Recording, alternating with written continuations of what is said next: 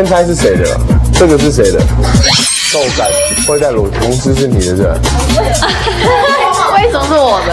因为你最近感觉好像走那个很奇怪的一个路线，就是比较特别一点，说不出来那种感觉。不觉得？而且有谣有谣说我很像欧美人士，欧美怎么？欧美的孩子之类的，欧美孩子，后面很漂亮，对，后面很漂亮，很像邻家女孩。莲花之类的。同时，不管你用什么发型，相信人气一姐的地位都不会动摇的。对面的 VIP 是不是这样说啊？